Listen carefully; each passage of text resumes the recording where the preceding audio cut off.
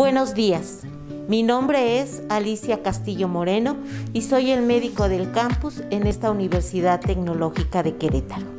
Hoy quiero compartir contigo información útil y valiosa sobre el adecuado uso del cubrebocas.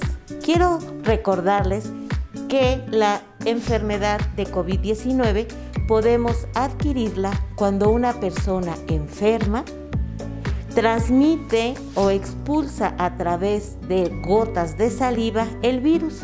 Este virus penetra por ojos, nariz y boca. Por lo tanto, el cubrebocas cuando está colocado de una manera adecuada va a proteger que no penetre el virus en tu nariz ni en la boca. La Universidad de Harvard hizo un análisis para comprobar la eficacia de usar adecuadamente el cubrebocas. Ellos pusieron varios estadios, varias situaciones en las cuales demostraron el porcentaje de riesgo para contraer el COVID.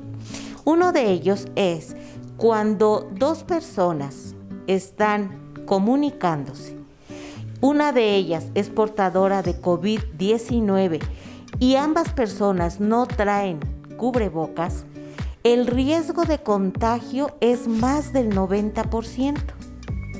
Otro escenario cuando una persona que es portador de COVID-19 utiliza cubrebocas y la otra persona está interactuando y no trae cubrebocas, su riesgo de contagio disminuye de manera importante hasta un 30%.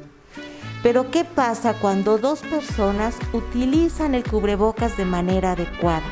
El riesgo de contagio baja hasta un 5%.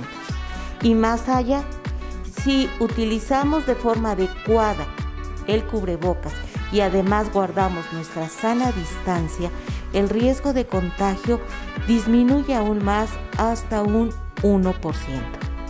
Con esta información que te he brindado, te invito para que utilices en todo momento adecuadamente el cubrebocas. Esto evitará que enfermes de COVID-19. Gracias.